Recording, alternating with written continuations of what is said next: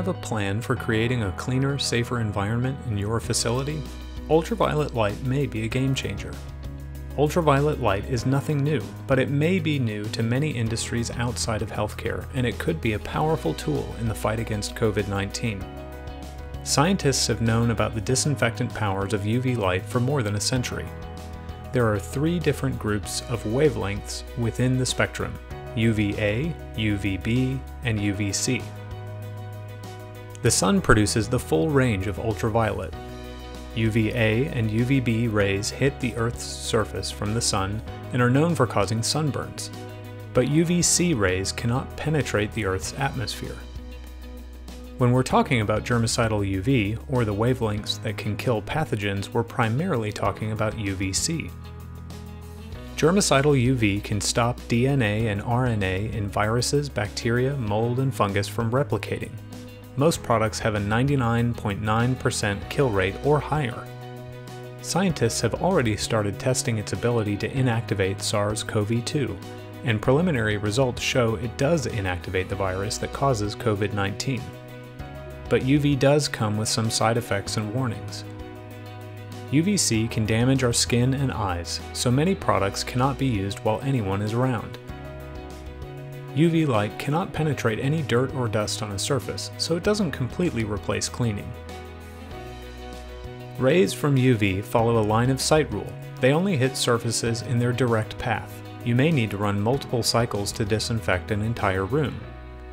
There are five different applications of UV, and even though we'll walk through them individually, it might be best to use a combination to properly disinfect your building.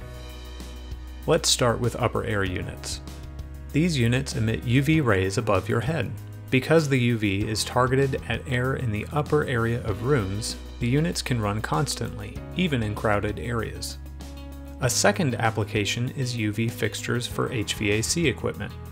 Installing UV lamps on HVAC coils or in ducts can disinfect the air circulating in a building. An added bonus?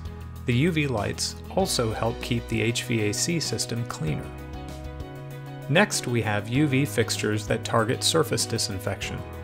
There are several options in this category and they all function a little differently.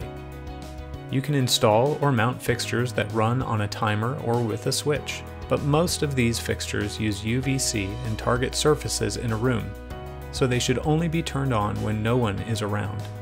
Another fixture option uses UVC between 208 and 222 nanometers called FAR UVC. Scientists have started to focus on this technology and found that it can disinfect but is not harmful to skin and eyes. That means the fixtures can run constantly. There are several FAR UVC options available like this downlight which can be installed over high-touch areas like sinks, counters, or ATMs.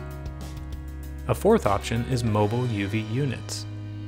Mobile units give you great flexibility. You can move them from room to room as needed but they require labor, and they may require multiple cycles to ensure UV rays hit all surfaces. Hotels, hospitals, and schools are excellent applications for these units. And last, handheld and portable units.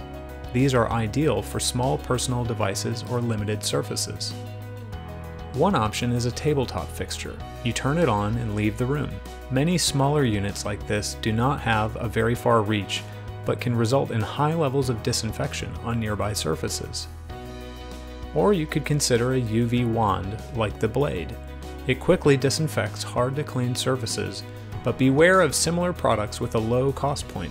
They may not deliver the disinfection promised. Another option is a bag like this tote. You place your personal items inside and they are disinfected in under 3 minutes. To test whether or not a UV fixture is giving you the coverage you want, you can use a card called a dosimeter. The center circle changes color based on the dose of UV received. When handled properly, UV products can be a safe and effective way to disinfect air and surfaces. For more resources and links to products, head to regencylighting.com.